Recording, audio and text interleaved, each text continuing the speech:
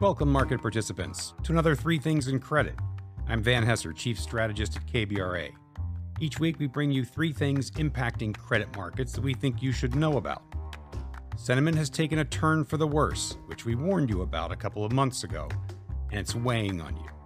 One strategist summed it up this way Macro uncertainty is incredibly high. People have no idea what 2024 looks like, from inflation to the labor market to geopolitics or political dysfunction.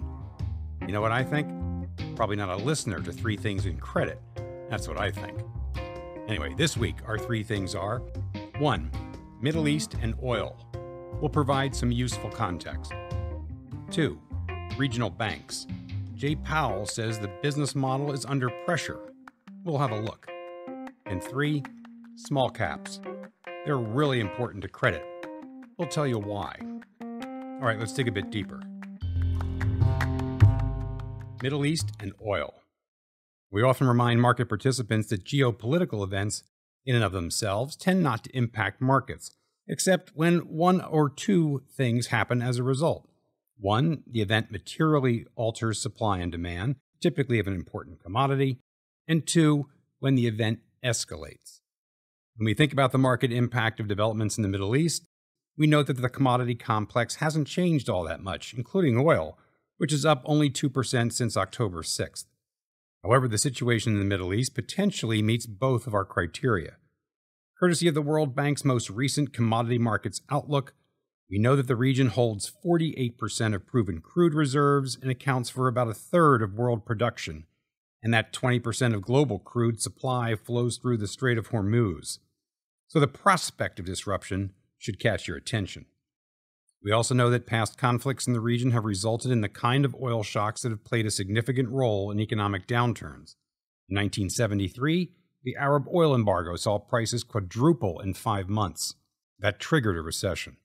The Iranian Revolution, beginning in late 1978, saw prices double in six months, and the Iran Iraq War, beginning in 1980, saw prices rise 20% in two months. Both of those events contributed to the 1980 recession. The Iraqi invasion of Kuwait caused prices to double in two months of 1990. A recession soon followed. You see a pattern here. Now, the report does point out how the oil market has changed since those events, mentioning things like reduced oil dependence, the creation of strategic reserves, and diversification of supply sources. But, safe to say, markets did not respond well to Middle East conflicts. As for escalation, the World Bank warns that the conflict could result in substantial energy supply disruptions, posing a major risk to its baseline projection of $81 a barrel on average in 2024. The bank lays out three scenarios small, medium, and large disruptions. A small disruption affecting less than 2% of global production would result in an increase of 3 to $12 a barrel above 2023's Q4 baseline of $90 a barrel. So, 93 to $102 a barrel oil. A medium disruption, 3 to 5% of global production, would result in prices of 109 to $121 a barrel, while a large disruption, 6 to 8% of global production, would see prices of 140 to $157 a barrel. The economic impact of all of this, obviously, depends on the particulars, including length of the spike and the second order effects on other commodities and political responses. But safe to say that current risk market valuations would be vulnerable to something in the World Bank's medium to large scenarios. With visibility as low as any event I can remember as to how this plays out, it argues for remaining up in quality until we get a better sense as to how this can be resolved. On that note, let's move on to our second thing regional banks. While just about everyone agrees, ourselves included, that the so called March events, i.e., the high profile failures of three good sized American banks and Credit Suisse, were highly idiosyncratic events. Still, concern remains out there among some that there is something fundamentally wrong with smaller than the largest U.S. banks. Case in point, we attended Fed Chair Powell's Economic Club address a couple of weeks ago, where he was asked about the importance of regional banks to the U.S. financial system.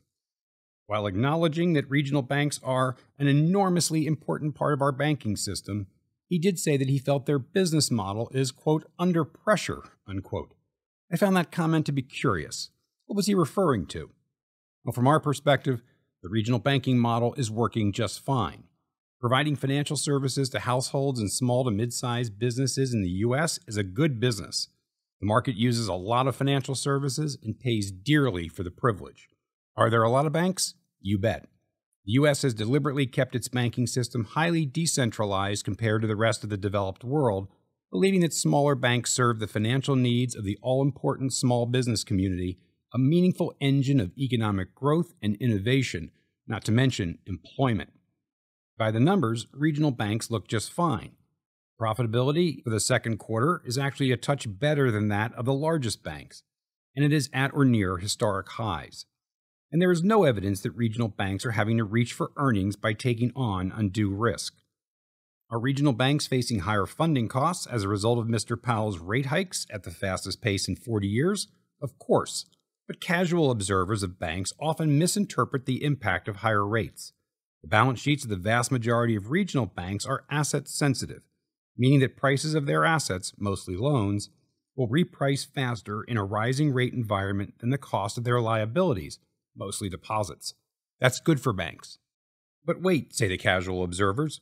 The government's paying 5% on treasury bills. Surely that hurts the banks, which have been paying next to nothing on their deposits forever, it seems. True, but don't confuse the marginal cost with the total cost.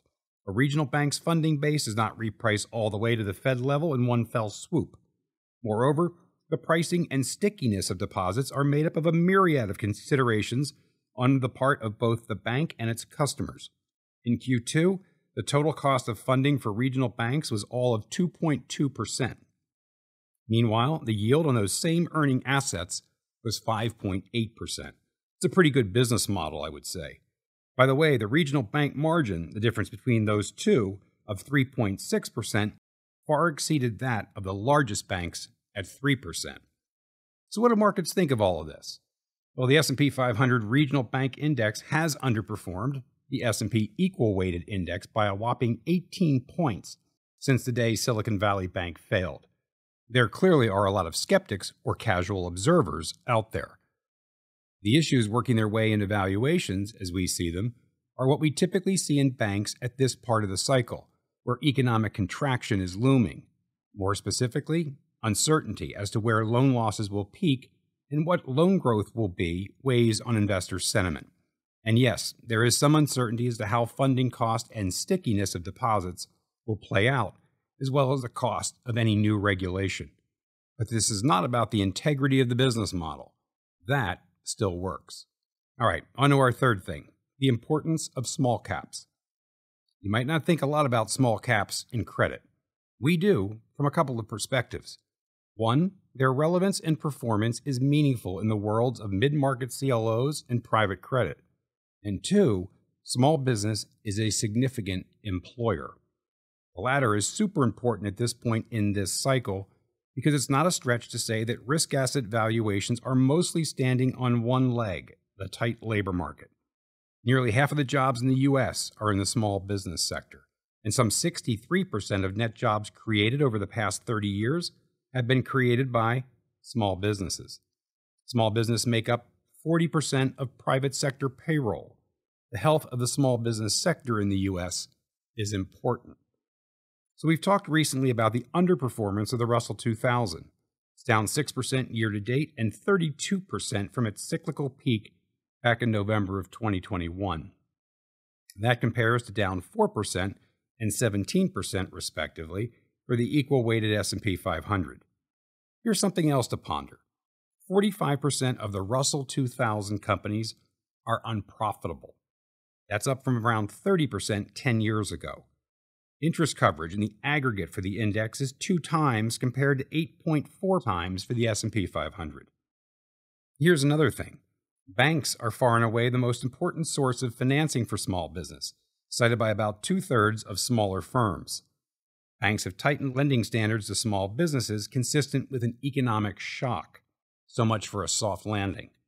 The point of all of this is don't lose sight of what's going on in the small business side of the economy hit hard by inflation, the rising cost of capital, and limited financing alternatives, and facing a corporate sector that for 40 years has been allowed to concentrate, this sector is vulnerable to downturn and the health of the labor market is at stake.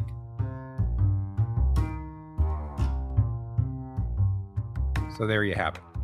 Three things in credit. One, Middle East and oil. The risk to credit is not priced in. Two, regional banks. The model works just fine. And three, small caps.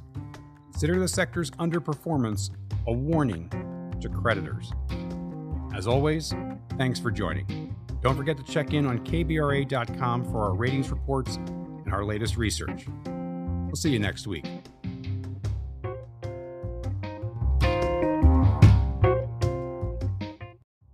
Hello, listeners. Join me, Van Hesser, KBRA's chief strategist, for in depth conversations with credit experts in my new monthly podcast, Leading Voices in Credit, where I'll interview market professionals on the latest trends in credit markets. That's Leading Voices in Credit with Van Hesser. Subscribe now.